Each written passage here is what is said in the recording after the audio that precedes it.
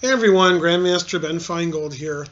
Um, I had some issues uploading the first video, but it wasn't because of here. Uh, YouTube's having a problem, which I read about after I had some issues. Um, but I think it's there and it's working, but I had to try a few times. And as you all know, trying is the first step to failure. I don't think the internet's too good here, so it's maybe it's choppy for you, but not too bad. It's free. Get what you pay for. Okay, second game I was losing for most of the game. I was playing um, 1800 rated Alexey Kazakevich, chess club regular in St. Louis. I've seen him a million times.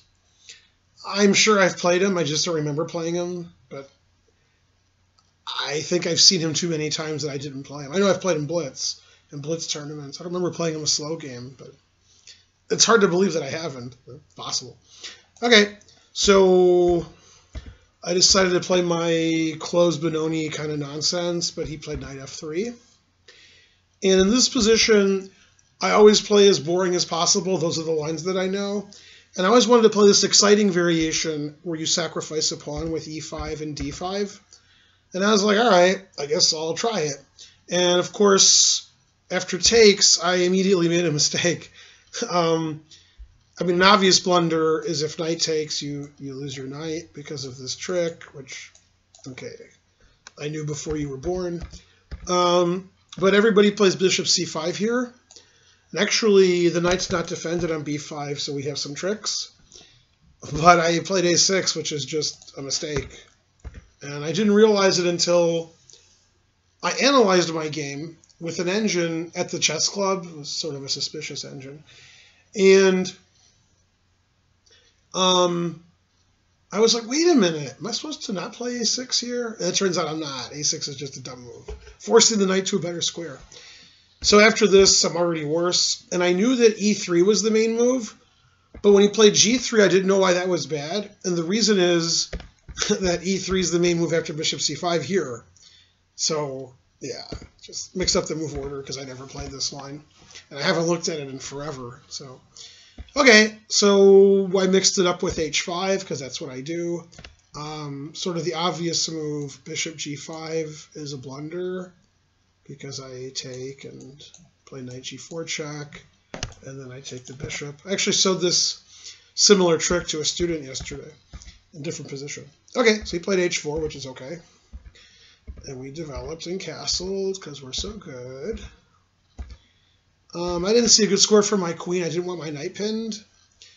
Um, so I thought b8 was okay. I defend my e-pawn. If I push my e-pawn, Sometimes I threaten queen takes g3, and my queen can go to a7. He can't attack my queen. So queen b8's okay. And in this position, he played a very strange move, one I wouldn't consider, but I guess it's okay. Played queen e1. He wants to play e4, and his e-pawn's pinned. So there you go. So I played e4, sacrificing another pawn, because it makes it really tricky. And he should take it somehow. Um, maybe now, maybe take my knight first on f6. I'm not sure, but he played e3. He played bishop f4. Um, I mean, now he should take my e pawn. Um, now, not not previous move. I'm tired. Okay, so bishop f4 is fine. Now he should take on e4, but he played e3. So I made my first good move of the game. Um, bishop b4, pinning all of his knights, and he thought for a long time and played queen b1, which is okay.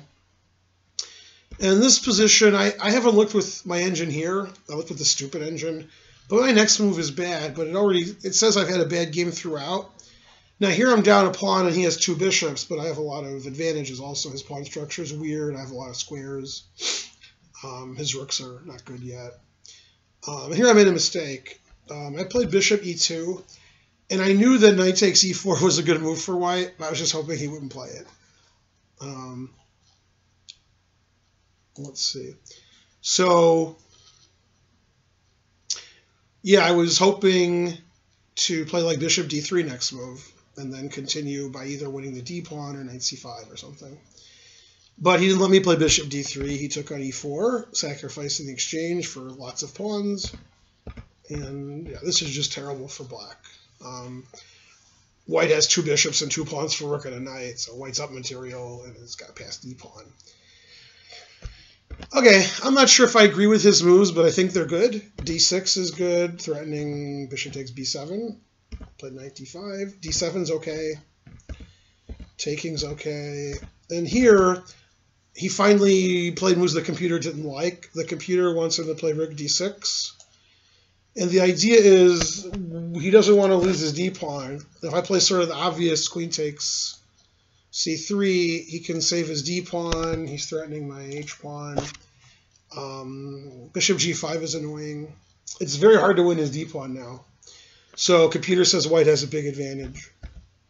Um, but he played queen d3, and now I can actually win his d pawn. So then I'm okay. Then I'm not going to lose. Um, I wanted to play b5 originally to play rook a7, but I didn't see what to do after queen d4, which stops rook a7. Then my rook on a8 is sort of stupid. So I decided to play b6, that I could play rook a7 regardless. And he thought a long time and made a very bad move. Um, I think this should be a draw. I think this is equal, but he played queen d5. This ending is really bad for white because um, I'm going to win the d pawn. So he decided to get the h pawn. And his weak queenside pawns are really weak. His majority on the king side is irrelevant. He's not going to get a pass pawn anytime soon. And if he somehow defends his c and a pawns, I don't know how, I can double on the seventh. So it is probably lost, I'm thinking. Played c4, which I don't know if it's just bad or it doesn't matter. Uh, I played f6, trapping his rook. Never play f6 unless I play it. And the idea is, at first I thought rook ch just won his pawn. I was like, well, I attack his pawn, I take it. But he has rook d5. And then I, his rook gets really active. So I just played f6, stopping his rook from moving anywhere, basically. And he played the point of c4, which is c5, trading off his weak pawn. But I have his Zug g6, and he can't defend his pawn. Um, if he tries to get tricky with c6, taking his rook wins, but rook d1 check, and then take his rook. So he can't really get tricky here. He has to play rook h6. I take, and I have a pass c pawn, and I just push it. So the game ended pretty quickly. Um, he didn't defend well here, but he's already completely losing. He plays like rook h5 with the idea of rook c5. I can just play rook c8 before he gets to play rook c5. So he traded rooks, which isn't good. He tried to run his king over, but it's nowhere to run. Um, he resigned. I guess the game would normally end here, here, here with d1. I guess that would be the way the game went at knight queen. So he resigned instead. So I was losing for a long time, or much worse, plus one, plus two for white. And then he pushed his d pawn, which was okay, but then he let me take it, and then he was much worse. Um, and then he collapsed pretty quickly. But he was low on time at that point. So was sort of lucky for me, but what the good players always lucky, except when they're not. Um, so that was my toughest game by far, and I was worse a lot, but that happens. Sometimes you're worse in chess, and you got to deal with it and um, some people don't deal with it well. But I've been losing since before all of you were born. I'm always losing a lot of games and have bad positions. Then you fight your way out. And um, I didn't really know what I did wrong that game. And then it just hit me after the game that a6 is just stupid. I'm not supposed to play a6. So I sacrifice a pawn in an opening I don't know very well, and then I misplay it, and I'm black. So if you sack a pawn and you're black and you don't know it and you misplay it, you can get a bad position, which I did.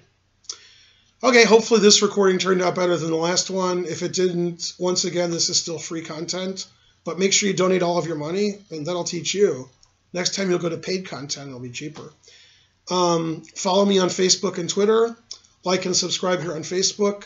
Go to atlchessclub.com and look at our website. Go to atlchessclub.com slash donate and enter your wallets. And I'll see you guys next video. Maybe I'll make one more tonight. You never know. Bye, everyone.